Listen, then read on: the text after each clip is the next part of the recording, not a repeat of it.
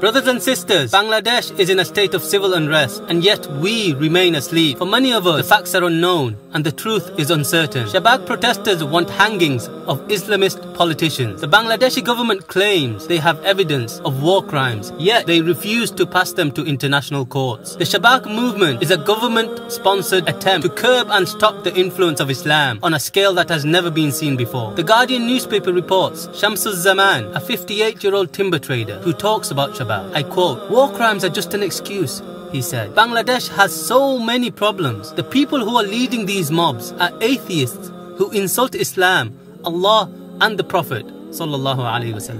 Does it have any credibility as a, a, war crimes tribunal? Absolutely not. It's been condemned by the International Bar Association, Human Rights Watch, Amnesty International, and for anybody who studies these issues, you can see why it's unfair. The chairman of the tribunal, and one of the reasons why there's been an allegation of bias, is himself someone who sat on a commission that held investigations against the suspects accused and is mentioned in one of the exhibits that's a report on those matters and is in the case.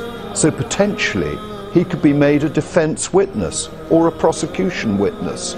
So there is no impartiality about this tribunal at all.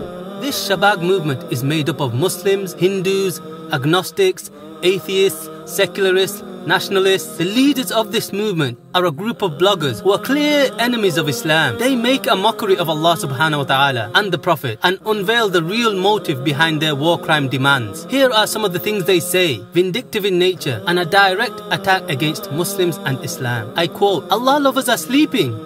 There are no slaves of Allah to counter the attack against him. Everyone who replies in objection to my post is, and I can't repeat the rest of the quote. Then they state, hijab is the highest example of Saudi vulgarity. In Bangladesh, by some of the bloggers, huge attack they did to the Prophet ﷺ, to his wives, to his companions, to the deen of Allah, to Allah himself. One of the bloggers is saying, Allah is taking the drug now.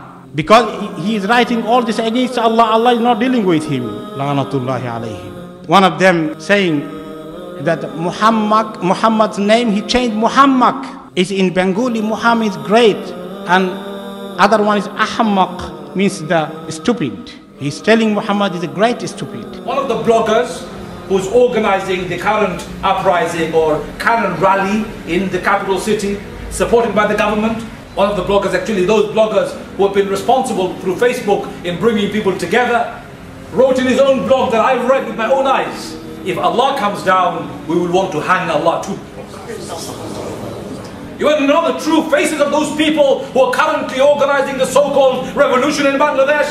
They are not only an atheist in their nature, but they're secular fundamentalist in every way possible. They hate Islam, and if they could have it their way, they'll destroy every facet of Islam from Bangladesh. State media has not reported this. Opposition media have been banned and threatened with arrest. These are only a few statements of the many vile and attacking insults against Islam made by Shahbag bloggers. Yet so many of us are oblivious to this reality, and the media chooses not to report this. With this being the objective of Shahbag, many innocent Muslims are being brutally murdered by police in broad daylight.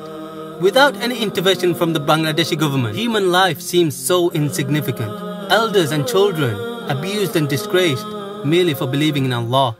ব্লগাররা যে ইসলাম বিরোধী রসুল্লার অবমাননাকর উচ্ছিত কথাবার্তা আল্লাহ রসুল বিরোধী যে কথা বলছে এর বিরুদ্ধে ইসলামী রাজনীতি বন্ধের বিরুদ্ধে আমাদের সংগ্রাম। মসজিদের গেট বন্ধ করে আমরা নামাজ পড়তে আসছি। এখানে আমরা শিবির নয় আমরা এই আল্লাহ আল্লাহ রসুলের বিরুদ্ধে কথা বলছি সেজন্য আসছি। This injustice continues while Shabak protesters are being fed and looked after by the very same government. We ask you to wake up, brothers and sisters, and help us raise this awareness and spread the truth of the injustices that are taking place right in front of our very eyes. إنما السبيل على الذين يظلمون الناس ويبغون في الأرض بغير الحق أولئك لهم عذاب أليم